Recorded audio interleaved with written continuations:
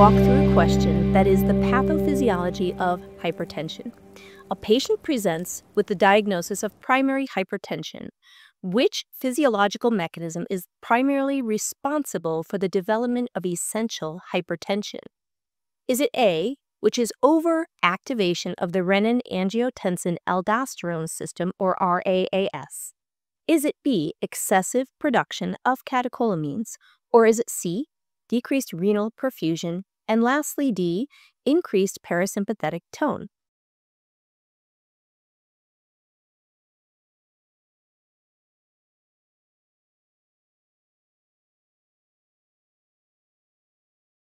Here, the correct answer is going to be A, overactivation of the renin angiotensin aldosterone system.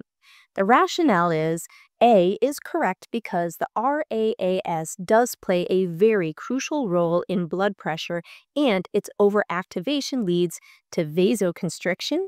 And think about your mechanics. So, less room to move, you need more pressure to get it through. So, therefore, vasoconstriction and fluid retention both major contributors to hypertension. Now, B is incorrect because catecholamine overproduction can cause transient elevations in blood pressure, but not primary. It's not the primary mechanism. Now, also, C is incorrect because although decreased renal perfusion is typically associated with secondary hypertension, it's not associated with primary.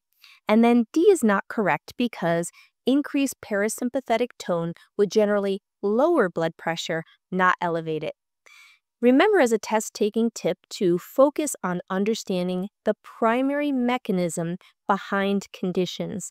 This will really help you to identify what you're going to see in the physical assessment, what kind of pharmacology you need to employ. Just remember that this is something that you can do because RAAS, for example, is a pretty well established player in essential hypertension. Good luck.